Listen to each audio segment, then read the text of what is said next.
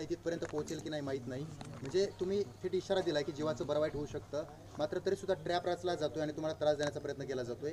समाजातूनच केलं जाते का हे? का राजकीय नेत्यांकडून केलं जाते आणि गावबंदीचा पुन्हा एकदा काही जण सोशल मीडियावर मेसेज फिरवतात की नेत्यांना गावबंदी करायची म्हणून. याच्यात ट्रॅपमध्ये नुसते आमचे इथे असं नाही म्हणणार. पंच्याण्णव टक्क्यापेक्षा जास्त मोगम आहेत. त्यांना तर गिनीतच नाहीत. आम्ही त्यांचं नावच नाही घेत. कारण त्यांच्याकडून अपेक्षाच नाही आहे ना. त्यांना कधीच वाटलं नाही मराठ्यांचं चांगलं व्हावं म्हणून. ते पण वरच्या पट्टीतलेच आहेत. सामान्य ओबीसी त्याच्यात नाही. त्याच्यात नाही. आमचे उगं दोन एक टक्के पाच पन्नास जणच येतो हो. लय नाही तर. ते पाच पन्नास जणंसुद्धा मला वाटतं त्यांना डाग लागू नये. मी ह्या मताचा आहे. समाजापासून ते लांब राहू नये समाजाच्या नजरेतून ते पडू नयेत की हे लय बोलत होते. तुम्हाला काय त्रास झाला सर तुम्हाला जसा त्रास झाला तसा महाराज मंडळीसुद्धा त्रास झालेल्या आहे मधल्या काळात. आम्ही महाराज मंडळीला सांगितलं तुम्हाला जर काही त्रास झाला असला या आंदोलनामुळं त्यांचं एकदा ही कायद्याची अंमलबजावणी होऊन द्या. सगळा हिशोब पुरा होईल तुम्हालासुद्धा महाराज मंडळीसुद्धा अर्ध्या सोडणार आहेत पण तुमची जनजागृती तुम्ही सुरू ठेवा. तसंच जर कोणाचा मधी समाजसेवकाचा मराठ्यांचा काय मन दुखलं असेल काय झालं असेल साथ नसन मिळाली दमदारा ना. होईल ना हिशोब. आज ती वेळ नाही आपल्याला शांततेत अगोदर जातीला द्यायचे नंतर हिशोब क्लिअर होणं त्याच्यासाठी वाचा वाचा वाचा वाचा कुकडं चालायला तुम्ही जितके आहेत ना तितकेच आम्ही सुद्धा आहेत मग. पण आम्हाला समाजाची जबाबदारी खांद्यावर आहे म्हणून आम्ही शांततेत चाललेलो आहे. आम्हाला मिळू द्यायचं आहे त्याच्यानंतर सगळं होईल. त्यामुळे त्याच्यामध्ये सगळेच आहेत. आता काय असतं शेवटी शरीर शरीर आहे तुमचा दुसरा प्रश्न. शरीर शरीर आहे माहीत नाही साथ देतं आहे कमी देतं आहे मी माझ्या दैवताचं राजाचं दर्शन घेऊन आलेलो आता समाजासाठीचा विषय जे होईल ते होईल. पण त्या कायद्याची अंमलबजावणी झाल्याशिवाय मी हटत नाही. मुंबईत तेच सांगितलं होतं. मराठ्यांच्या कायद्याचं जो आरक्षण घेऊन आल्याशिवाय मागं फिरत नाहीत. शांततेत फिरलो पण काहीला वाटत होतं. बहुतेक पैसे मिळावत पदं मिळावत तिथं जाळपोळ व्हावा मराठ्यांनी तिथं बसावं. आता जर कायद्यात त्यांनी अध्यादेश काढला अधिसूचना काढल्या तिथं बसून काय करायचं? पोरायचे हाल करायचे होते तुम्हाला? तिथं डांबरीवर पोरं झोपून त्या डासात झोपून अरे मराठ्यांची एवढी दहशत बसली तर मुंबईत जायचं आधीच दिलं ना? याच्यापेक्षा काय पाहिजे होतं तुला? तू म्हणतो मुंबईला गेल्यामुळं काहीच मिळालं नाही. अरे मराठी नुसती इथून निघालं की तिथं धसकी बसली त्यांना. आणि त्या त्या धवशीवर देऊन टाकलं. उलट तुला सोशल मीडियावर काही नाही मिळालं लिहिण्यापेक्षा तो म्हणायला पाहिजे होतं सरकारला धडकी भरली ना अर्ध्या रस्त्यातच दिलं. तो उलट मराठी किती ताकदवर आहे हे दाखवायला पाहिजे होतं. तू मराठी कमजोर आहे असं दाखवायला लागलास. तुला काही अक्कल आहे का? तू कमजोर आहे असं दाखवायला लागला मराठी मुंबईत घुसाच्या आधीच घाबरले. आणि त्यांनी आधी सूचना दिली. त्याचं कायद्यात रूपांतर होईल. हे सांगायला पाहिजे होतं. हे हेच सांगायला पाहिजे होतं. ते दिलं सोडून. तू तिसरंच सांगायला. एवढी दौज बसली मराठी तो तो म्हणणं एक होतं का मग? तू ट्रॅपमधला आहे तुम्ही मग. जे सोशल मीडियावर लिहितात तुम्ही ट्रॅपमध्ये येतात आमच्यावर असलेल्या निघायच्या अगोदर ट्रॅप रचला होता. मला ट्रॅप रचणारे मंत्री आणि सत्ताधाऱ्यातले लोक माहीत झाले म्हणून मी सांगितलं तुम्ही दोन दिवसात बंद करा आणि तुमचे नाव ओपन करील कारण त्यांच्या लक्षात आलं याला बी लोक सांगत आहेत. अधिकारी सांगत आहेत काही आमदार बी सांगत आहेत त्यांच्या जवळचेच. असं असं झालं आहे त्यांच्या लक्षात आलं अरे हे नाव घेईन याला माहीत झालं दिसतंय. त्याच्यानंतर बंद झालं म्हणून मी बी नाव नाही घेतलं.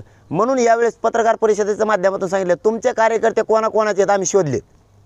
सत्ताधाऱ्यातल्या कोणत्या गटाचे कार्यकर्ते सोशल मीडियावर लिहितात आणि विरोधी पक्षाचे कोणत्या नेत्याचे कार्यकर्ते लिहितात कोणत्या संघटनेचे लिहितात ग्रुपचे लिहितात कोण समाजसेवक लिहितोय? आणि त्यांच्या पाठीमाग कोण आहेत आम्हाला माहिती त्यामुळे त्या मंत्र्याचं विरोधी पक्षाच्या आमदाराचं नाव घेऊन त्या कार्यकर्त्याचं नाव घेणार आहेत. मग तुम्ही जर या चार दिवसात नाही थांबविले आणलात. ह्यो ट्रॅपच आहे. तसाच यांचा ट्रॅप होता का? की मुंबईत गेल्यामुळे काय नाही मिळालं म्हणायचा.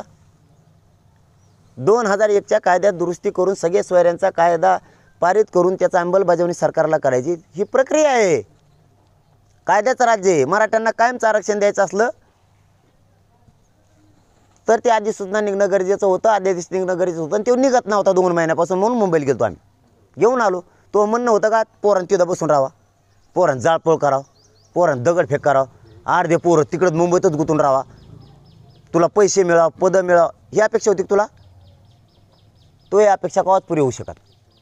माझ्या गोरगरीब मराठ्या आम्ही एकमेकाच्या जीवावर दोघं गेलो होतो माझा समाजाने आम्ही. आम्ही एकमेकावर शांततेत विश्वास ठेवला शांततेत आदेश दिला आम्ही एकमेकाच्या शब्दावर माघारी आलो. तो स्वप्न पूर्ण नाही होऊ शकत. पोरं उपाशी महाराज होते तिथं बसून? जरी पोरांनी खायचं प्यायचं घेतलं होतं तरी तिथलं वातावरण झोपण्याच्या अडीअडचणी पाण्याच्या सगळ्या व्यवस्था. झालं ना गेल्या गेल्या मराठ्याचा धौशोर आमचे पोरं शांततेत घरी आले. एकही वाईट घटना घडलेली नाही. एकही. सगळे सुखरूप आपण आपल्या घरी आलेत. हे खपा ना का तुला. यांचा सगळ्यात मोठा प्रॉब्लेम आहे मायबाप मराठ्यांनो. मी प्रामाणिकपणानं करतो आहे मॅनेज होत नाही फुटत नाही. आणि मी चिकटपणानं सातत्यानं चिकाटीनं हे काम करतो आहे आणि चोवीस घंटे करतो आहे सातत्यानं मी हे मुद्दा लावून धरला आहे ही यांची पोटदुखी. यांचा विषय संपला आहे त्याच्यामुळं. यांच्या दुकानं बंद पडलेत म्हणून. आणि यांना काहींना श्रेय पाहिजे आणि काहींना आम्हाला विचारावं असं असं वाटतं म्हणजे विरोधींना सत्ताधाऱ्या. पण आम्ही विचारू शकत नाही. मी मायबाप मराठ्यांना विचारल्याशिवाय काहीच करू शकत नाही. आणि त्या खोली फिलीत बोललेलं ना माझ्या जातीला मी जे अर्थ दिला खोलीत बोलणं बाहेर बोल खोलीत बी अडीचशे तीनशे लोक होते उत्सिक नव्हते. आता त्या अधिकारी भ्यायला लागले. मी मायबाप मराठ्यांना समाजाला सांगतो. ते सोशल मीडियाला त्याला जाऊन खड्ड्यात तिकडे. माझ्या मायबाप मराठ्यांना सांगतो पोराने बाहेर घोषणा दिल्या अशी कातून घोषणा द्यायची. त्याची पातळच व्हायची त्या अधिकाऱ्यांची त्याची. ते माझ्या बाहेर नाहीत आम्ही पाय पडतो इथंच बोला काय बोला जाऊ दे म्हणलं कायद्याचंच करायचं आहे काय करायचं आपल्याला तरी कोणचं? हात घेऊन. हात काय त्याने बॅगा भरून आणल्या होते आणि पैसे घेत असतो त्या थोपाट फोड असतं ना. मी पैसे घेऊन आला असतात. मी माझ्या मायबापासाठीच जगतोय. या मराठ्यांच्या गोरगरिबासाठी आणि त्यांच्यासाठीच मारणार. आहे मला त्या पैशाचं पैशाचं पदाचं घेणं देणं चार भीती बोलू नको. तिकडं काय यश व्यासपीठ आहे का मग? बाहेर येऊन बोलायला? मला होती का थंडी सहन? मी बाहेर येऊन बोलायला. माझ्या बाय मायबाप समाजाला करोडांना नाही गरज. मी कुठं बोलू? त्यांना पक्का माहीत झाले आहे. खोलीत बोलू नाहीत बाहेर बोलू. हे जात सोडून बोलत नाही ना आरक्षण सोडून तुम्हाला काय रे पाच पन्नास जणाला? ठेका घेतल्यासारखा बोलता सुपाऱ्या घेता. दिले असते दहा पाच हजार रुपये उडूनही गेले असते तुमच्या बाजारात ते. चार चार द सहा महिन्यापासून तुमच्या घरात बाजार नसेल तर त्याचा भरला असेल तुम्ही. तर म्हणून जातीच वाटोळ करायला नाही घालत का इकडं हा, दादा अं, मी काय करू आता? करतील ते वेगळं करायचं म्हणल्यावर काय करतील? ते मोठे माणसं आहेत समाजातले. ज्याचा त्याचा निर्णय ज्याच्यापेक्षा अधिकार आहे ज्यांना त्यांना. माझ्या गोरगरीब समाजाला वेगळा अधिकार आहे त्यांना वेगळा अधिकार आहे. वर्ग मोडतेत ना शेवटी आमचा गरीब वर्ग आहे. पाटील ज्या प्रकारे तुम्हाला विरोध वाढत चालला की राजकीय नेत्यांनी सुद्धा तुम्हाला काय मिळालं असा प्रश्न उपस्थित केला होता. त्यानंतर राजकीय नेत्यांच्या विरोधामध्ये समाज जो आहे तो सोशल मीडिया मेसेज टाकतोय. की आता पुन्हा एकदा नेत्यांना गावबंदी काय सांगा काय मिळालं जे लेखित ना ते राजकारणी कोण आहेत काय आहेत ते. कारण समाजाला पंच्याहत्तर वर्षात सगळ्यात मोठा कायदा सगळ्या सोयऱ्यांचा व्हायला की ज्याच्यात नोंदी नाहीत त्यांना. मग सगळे मराठी आत जाणार आहेत. हैदराबादच्या गॅजेटच्या माध्यमातून जाणार आहे त्यामुळे झालं आहे काय? की समोरच्यांना असं वाटतं आता हे कायमचा विषय संपला मग आपल्याला काय राहील निवडणूक लढवायला? म्हणजे काय विरोधींना? सत्ताधाऱ्यातले बी येडपट काही ते म्हणते तर श्रेय कुणी घ्यायचा? तुमच्या श्रेयासाठी मी पट्ट्या आम्ही समाज तुम्हाला दोघाचा कार्यक्रम लावतो आम्ही. हां पण आमचं त्या आदिदेशाची अंमलबजावणीच घेणार आम्ही. आम्ही दोघाचा कार्यक्रम लावतो तुमचा. कोणी किती टोळ्या वेगळ्या वेगळ्या केल्या काय देणं घेणं नाही आम्हाला. आमच्या गोरगरिबांना जे पाहिजे ते आम्ही घेणार आहेत. कोणी वेगळे आंदोलनं करा नाही तर काय करा समाजाचा त्याच्याशी काही संबंध नाही. कारण समाजाचा इथं कारण अगोदर हे मान्य होतं साडेतीन महिने तुम्हाला सगळ्याला. सगळे सोयरे शब्द आत्ता दिला घेऊ अचानक साडेतीन महिन्यापूर्वी दिलेला आहे. आणि हे- जे तुम्ही नावं घेताय ना महाराष्ट्र महाराष्ट्रभरातले यांना सगळ्याला विचारून घेतलेला आहे. त्याचा आधी सूचना निघाली ना भाऊ. हां? मग कशाला आंदोलन? तेव्हा झोपले होते. आता स्त्रियासाठी लफडं चालू आहे. काही नाही. मायबाप मराठ्यांना सांगतो महाराष्ट्रात काय आंदोलन उभं राहणार आहे सोशल मीडिया चालणं. फक्त स्त्रियासाठी चाललंय. सगळे सोयरे शब्दाला जर विरोध होता तर तेव्हा कशाला हा म्हणले मग? आमचेच. हा म्हणलात कशाला तुम्ही? तेव्हा चांगलं होतं. आता तुम्हाला फक्त तुम्ही टी व्हीवर दिसायसाठी आणि तुम्हाला श्रेय घ्यायसाठी चाललंय. हां तुम्ही पंच्याहत्तर वर्षात कमी नाही दिला. आता लागला नाटकं करायला. ते गावबंदीचं पाटील गावबंदीचं गावबंदीचे मेसेज फिरतात नाही ते मी बघितलं नाही त्याच्यामुळे मी अधिकृत बोलू शकत नाही आहे का नाही मग आता राज्यात? ते आता अं, समाज दहा तारखेला समाज ठरवून काय ते. दहा तारखेला बैठक आहे आमची. पाटील आधी सूचनेच्या नंतर आज पहिल्यांदा मंत्रिमंडळाची बैठक होते. त्यातच छत्री मंडळाच्या बैठकीत उपस्थित आहे. आणि या बैठकीमध्ये अध्यादेशावर चर्चा. चर्चा होणार होऊ शकते. ते काय लय शान आहे का? मंत्रिमंडळाचा राजीनामा दिला आणि मंत्रिमंडळाला गेलं. त्याला त्याला कळतच नाही आपण काय केलं ते. ते ना आता मी खरंच डॉक्टर पाहिजे होतो. त्याच्यावर त्याच्या मेंदूर रोग झाला दिसते त्याला काय बोलत त्या ध्यानातच राह ना आता लय कुंकडं बोलायला लागले. त्याचा सगळ्यात मोठा प्रॉब्लेम काय आहे गोर गरीब मराठे हे ओबीसी जात नव्हते हे गेले. तर सत्तावन्न लाख गेलेत. आता याचा आकडा लाखात गेला आहे परिवाराचा. त्याच्यामुळे हे करोडच्या पुढं चालला आहे आता. ती एक एकूण धाके हे सगळे सोयरे आले ते एक ते म्हणतो मग एवढं एवढंसं गरीबाचं पोरगं लढं आपण किती मोठाले होत होत आपण हरलोतच ना मग ओबीसीत गेलं. त्यामुळे ते ना ते रच्ची झोपत नाही वाटतं. मी डॉक्टर असतो त्याचं मेंदू तपासायला गेलो असतो मी. आणि ते आता हो ना. आज अधिसूचनेवर चर्चा होणार आहे. यात मराठा मंत्री मंत्री पण आहेत. ते या मंत्र्यांना तुमचं काय आव्हान असणार? मंत्र्यासह सगळ्यांनाच. आधी सूचना जी काढली अध्यादेश तो पंधरा तारखेची पंधरा तारखेला त्या कायद्यात रूपांतर करून त्याची अंमलबजावणी करायची. सगळ्यांना सांगणं आहे कोणी गोरगरिबांच्या लेकराच्या अन्नात माती कालायचं काम करायचं नाही. नसता पुढं तुम्हाला पुन्हा मराठ्यांच्या दारात यायचं हे सुद्धा ध्यानात ठेवा. आणि त्याला बोलीत जाऊ नका अध्यादेश वाचायला त्याला वाचता येत नाही. लायकी नाही लायकी नाही. मग तू तुपलं बघ मला हाय का नाही? मी म्हणलो का? तू आहे का नाही तू तुपले ठरव. आहे का नाही? तू मंत्रीच अरे ते डाग आहे राव. ओबीसी बांधवाला डाग आहे. आता तर काल तर ते इतकं गदळ बोललं ते. ते नावे बांधवाला म्हणलं ते चप्प्याच करू नका म्हणे मराठ्याचे. काय? हा आमच्या आमच्याच भादरा म्हणे देऊ.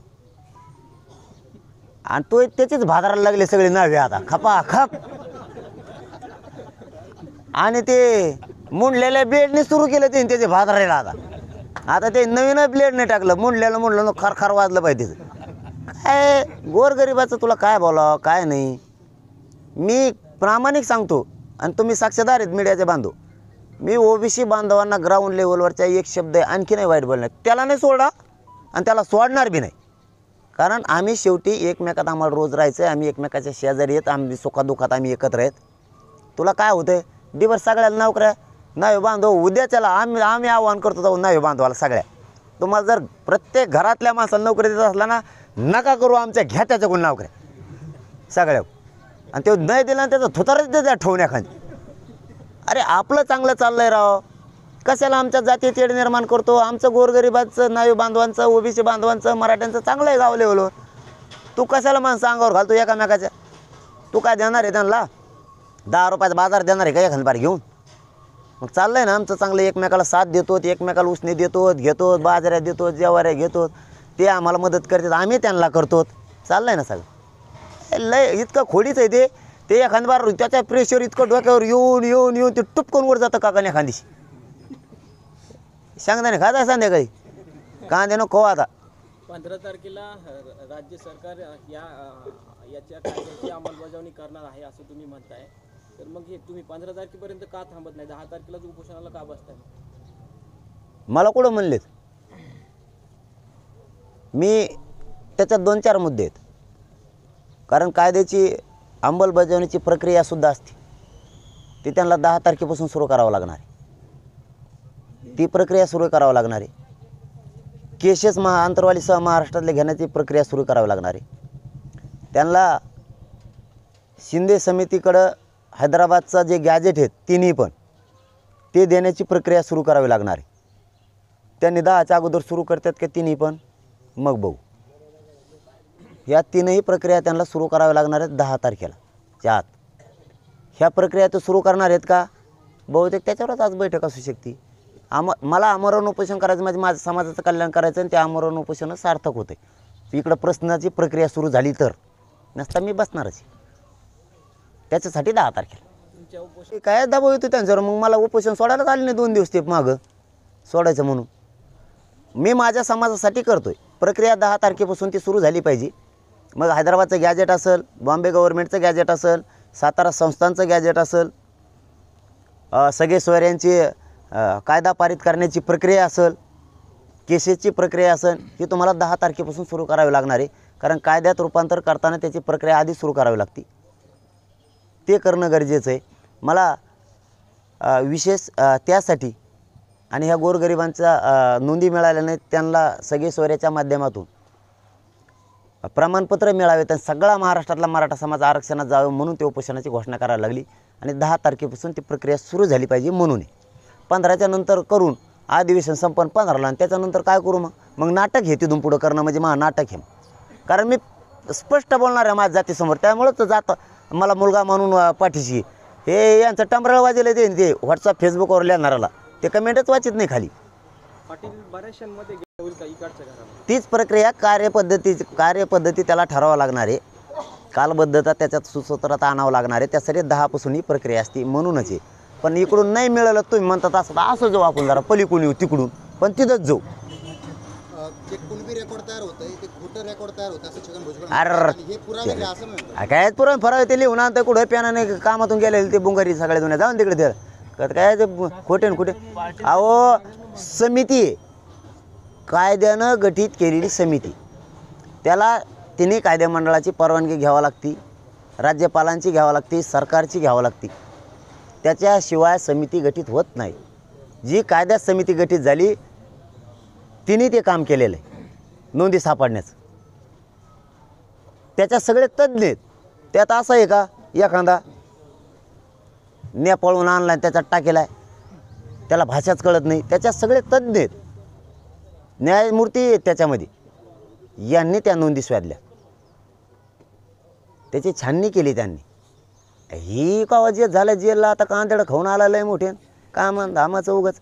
याला याला काय कळत आहे खोटी न- खरी नोंद? पाटील साहेब रायगडाच्या पायथ्याशी तुम्ही घोषणा केली होती आमरण उपोषणाची. त्यानंतर आता चार ते पाच दिवस उलटलेले आहे सरकारकडून काही तुम्हाला संपर्क साधला गेलाय का उपोषण संदर्भात? जो इशारा दिला आहे. तुमच्यासोबत आले होते भेट झाली होती. तेव्हा काय काय चर्चा झाली? किंवा पुढचं नाही नाही चर्चा नाही.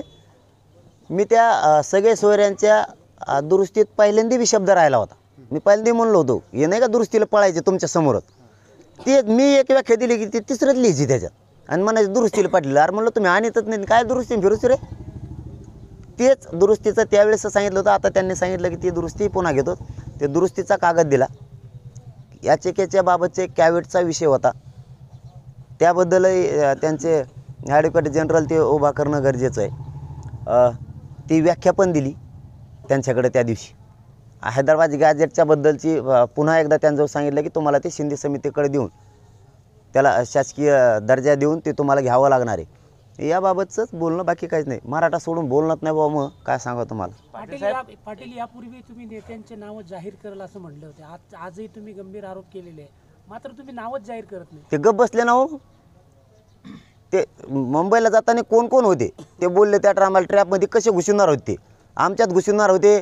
आम्हाला न बोलता मागच्या मागं जाणार होते. आणि म्हणणार होते आम्हाला बोललेच नाही आम्हाला रॅलीच बाहेर होय म्हणले. आणि मग ते नाराज दाखवायचं म्हणजे ट्रॅप होता. आणि इकडे प्रेस घ्यायला लावायची मराठ्यांच्या विरोधात रान उठवायचं. पण तो बी आला नाही. आणि त्याच्या नेत्याला ओळखलं हे येडपट हे हे नाव घ्यायला बसले हां त्यामुळं आणि आपलं खरं आहे. आता बी शोध लागला आम्हाला. आम्ही गपकम बसलो मुंबईपर्यंत आत्तापर्यंत. ह्यो सोशल मीडियावर येणारा कोण आहे? ह्यो कोणाचा कार्यकर्ता आहे? सत्ताधाऱ्यातला कसं काय आहे? ही गट आमक्या गटाचा कसं काय आहे? मग इकडचा कसं काय? कोणचं काय आहे ना? त्यांना आम्ही जाहीरपणानं सांगितलं की तुमची मळमळ कशात आहे आम्हाला कळलं आहे काहींना श्रेय घ्यायचं आहे काहींना वाटतं मग आपल्या काळात काय राहिलं? आपण कशावर करायचं? मग हे ढिल्लं ठेवायचं. म्हणून तुम्ही तुमच्या कार्यकर्त्यांना नीट सांगा. दोन चार दिवसात नाही दोन चार दिवसांना ओपन करणार आहे कार्यकर्त्यासह तुमच्या त्या मंत्र्याचे विरोधी पक्षाच्या आमदारांचे आणि हे लोक कोणाकोणाचे आहेत त्यांचे? तुम्ही मराठ्यांच्या विरोधात सरकारची सुपारी घेऊन कसं रान खोटा गैरसमज करायला लागलात. खरं तर मी आता माझ्या समाजाला सांगितलं आहे तुम्ही खोटं काय पेरायला लागलात? हे मात्र त्या कार्य त्या नेत्यानं त्या मंत्र्यानं कार्यकर्त्याला कशासाठी बोलायचं सांगितलं मराठ्यांच्या विरोधात? हे मग सांगणार आहे. करू नका किंवा आपण त्या प्र- प्रक्रिया सुरू आहे असं काही सांगण्यात आलंय का तुम्हाला? नाही नाही संपर्क साधण्यात आलाय नाही नाही नाही नेटवर्क आहे आम्ही. रेंजच नाही हे तारखेपर्यंत तुमचा दौरा कसा असणार आहे? मी दौऱ्याला दौरा सांगतो आता एक मिनटात मग आपण थांबूयात आता. अ, दौरा आहे का? हां. सहा फेब्रुवारीला आंतरवालीहून शिक्रापूर मार्गे आळंदीला मोठा कार्यक्रम आहे चाकणला आहे.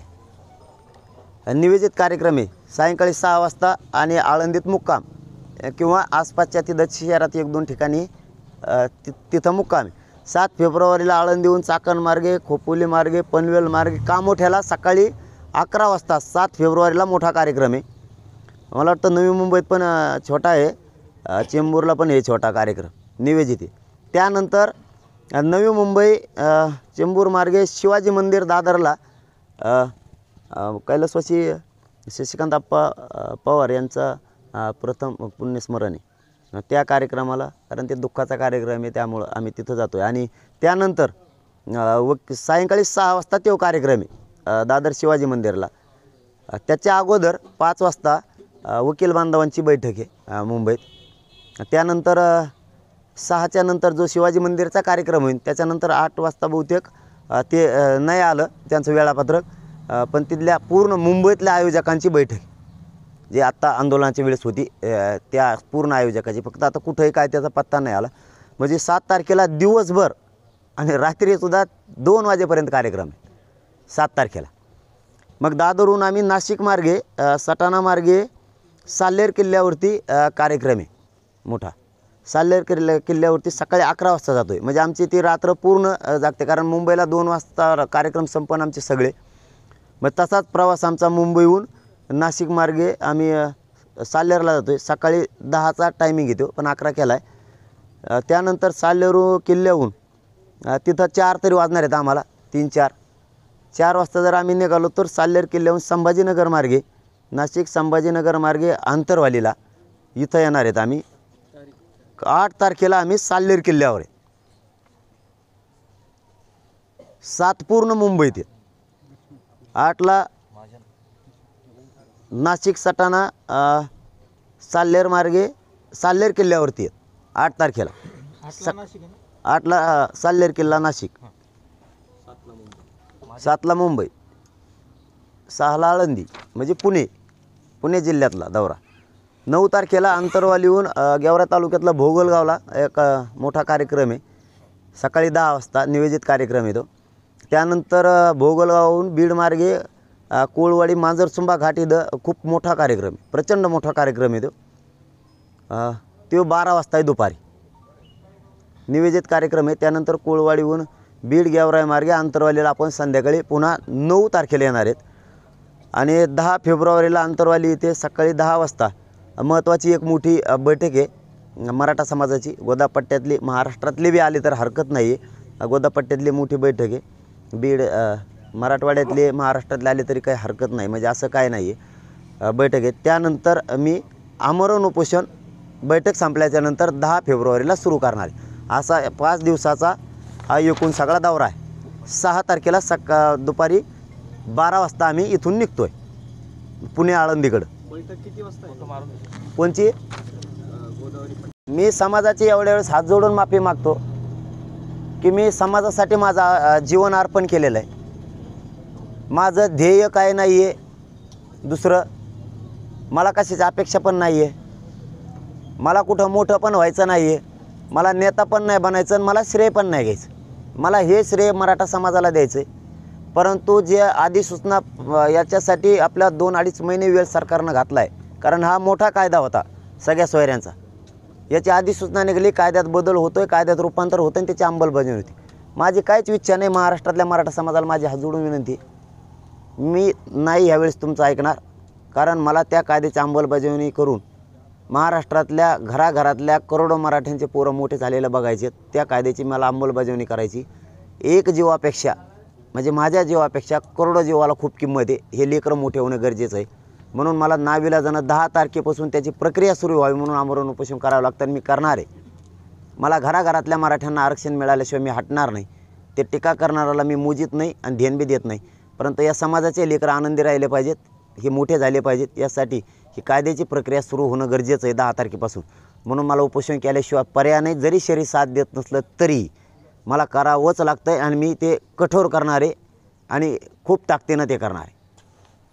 आपण सगळ्यांना उलट मराठा समाजानं दहा तारखेला बैठकीला यावं ही सगळ्यांना विनंती. धन्यवाद पाटील